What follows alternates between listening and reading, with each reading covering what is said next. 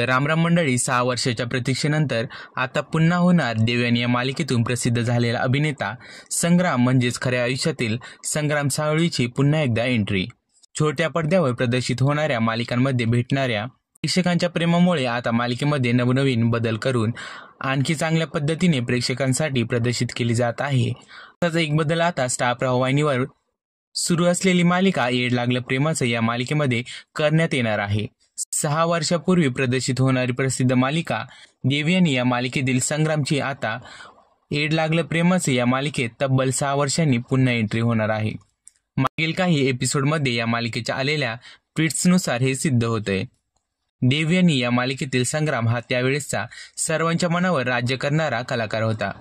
त्यावेळेसचा प्रसिद्ध असलेला संग्रामचा डायलॉग तुमच्यासाठी काही पण हे वाक्य आजही सहा वर्ष होऊन सुद्धा प्रेक्षकांच्या लक्षात आहे. संग्राम यांनी यापूर्वी देवयानी कुलस्वामिनी या मालिकेमध्ये देखील काम केले आहे.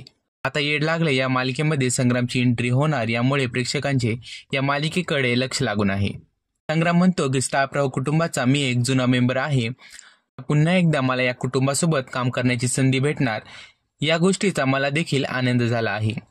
संग्राम अजून म्हणतात की मी इतके वर्ष झाले देवयानी या मालिकेतील मी साकारलेल्या पात्राबद्दल माझी प्रशंसा करतात. यामुळे मी खरं तर भारावून गेलो होतो. तर संग्राम आता मालिकेतील खलनायकाची भूमिका साकारणार आहे.